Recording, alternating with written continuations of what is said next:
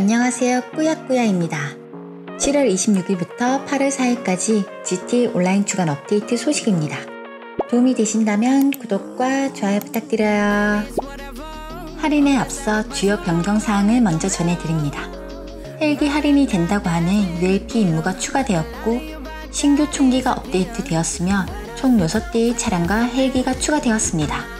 Oppressor Mark2의 flare cooltime과 미사일 조준 등이 nerf되었으며 습격과 CEO, 벙커 등 바뀌는 멘트를 문자와 메일로 확인할 수 있습니다.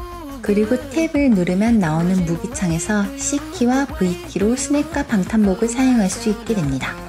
Legendary Motorsport에서는 다음과 같은 4대의 신규 차량이 업데이트되었고 Enus Deity와 Pegassi Zorrusso 차량이 30% 할인되고 오셀란 링크스와 람바다키 프로 GT 차량이 40%, Schyster Deviant 차량이 50% 할인합니다.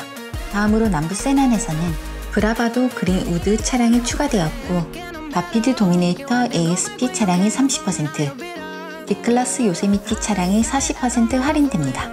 그리고 Elitas Travel에서는 Conada라는 신규 헬기가 추가되었습니다. 이번 주 부동산 할인으로는 모든 사무소의 구매와 renovation이 40% 할인합니다. 이번 주및 경험치 이벤트로는 다음과 같습니다. 신규로 나오는 ULP 임무가 2배 이벤트로 진행됩니다. 추가적인 이벤트가 있으면 고정 댓글로 남겨드리겠습니다. 이번 주 podium의 이동수단은 Pegassi Reaper 차량이고 자동차 모임의 경품은 Albany V-STR 차량입니다. 경품은 4일 연속으로 최종 1위 이내에 들면 얻을 수 있습니다. 이번 주 시승 차량으로는 Lampadati Furore GT와 Declasse Yosemite 그리고 Schyster Deviant 차량입니다.